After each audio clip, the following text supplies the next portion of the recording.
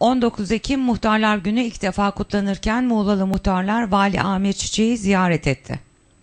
Ziyarette konuşan Vali Çiçek, muhtarların demokrasinin en köklü kurumlarından olduğunu söylerken, bu köklü kurumun 15 Temmuz darbe girişiminde önemli bir sınav verdiğini söyledi.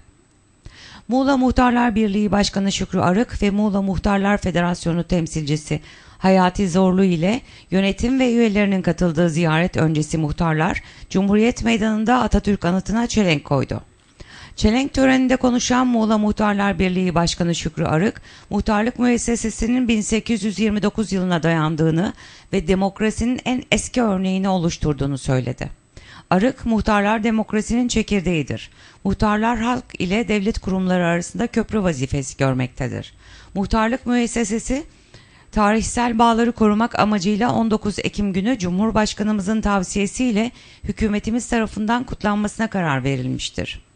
Başta Sayın Cumhurbaşkanımız, hükümetimiz ve siyasi partilerimize teşekkür ederiz dedi. Muğla Muhtarlar Federasyonu temsilcisi Hayati Zorlu ise 19 Ekim Muhtarlar Günü'nün ilk defa kutlandığını belirterek bugünün bizler tarafından kutlanmasına vesile olan başta Sayın Cumhurbaşkanımıza, hükümetimize ve tüm siyasi partilerimize teşekkür ederim.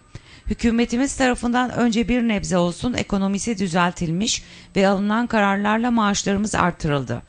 Ardından ilk kez 19 Ekim günü kanunla düzenlenerek Muhtarlar Günü olarak kutlanması, muhtarlarımızın daha onurlu yaşamalarına daha onurlu yaşamalarına kavuşturulmuştur. Buna vesile olan tüm yetkililere teşekkür ederim dedi. Muğla'lı muhtarlar çelenk töreninin ardından Vali Amir Çiçek'i ziyaret ettiler.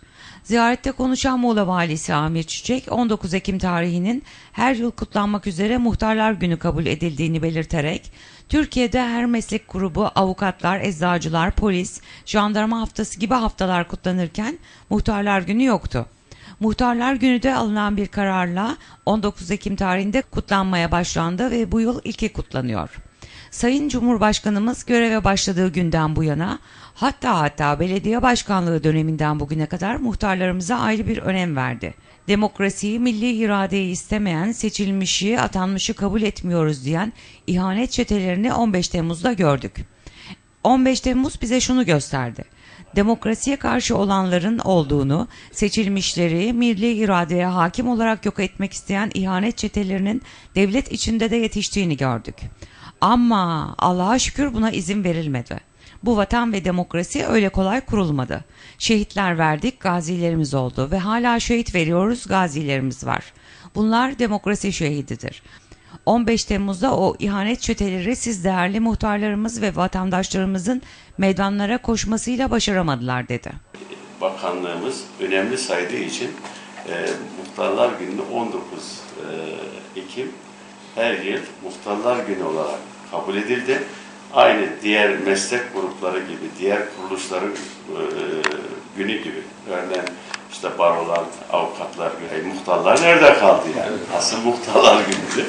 Allah böyle bir günü ilk e, bu yıl işte 2016'da e, kutluyoruz. Bunun için valimizde, e, vali yardımcısının başkanlığında mahalli idareler müdürümüz e, ve protokol şube müdürümüzün yine muhtarlardan temsilcilerin bulunduğu bir e, komite kurduk. Bu komite her yıl muhtarlarımızın bu muhtarlar günüyle ilgili am, e, kutlamayı muhtarlara layık, muhtarlara uygun şekilde kutlayacaklar. Başta Cumhurbaşkanımız tabi her şeyden önce e, göreve başladığı günden beri hatta bırakın Cumhurbaşkanımız ta Başbakanlığından beri Büyükşehir Belediyesi Başkanlığından beri ta ileriye gidin muhtarlara çok önem verirdi. Dolayısıyla hem e, başbakanımız, hem bakanımız, bakanlarımız, hem biz valilerimiz ve diğer yöneticilerimiz muhtarlık kurumuna, muhtara çok önem veririz. Nedir? Ya biz demokrasiye, milli iradeye işte e, istemiyoruz. Dolayısıyla biz muhtarlık değil, her seçilmişi, atanmışı kabul etmiyoruz. Biz bizim dediğimiz olacak diyen bazı ihanet çeteleri işte 15 Temmuz'da bunu gördük. 15 Temmuz bize şunu gösterdi. Demokrasiye karşı olanların olduğunu, yetiştirildiğini, seçilmişlere, vatandaşın milli iradesine hakim olup yok etmek isteyen ihanet çetelerinin bizlerin de içimizde yani devletin kurumlarının da içinde yetiştiğini yetiştirdiğini gördük. Vatan kolay böyle bize teslim edilmedi. Türkiye Cumhuriyeti bize öyle bir yerden alıp verilmedi. Kan dökülerek kazanıldı bunlar. Şehitler verildi, gaziler biz oldu.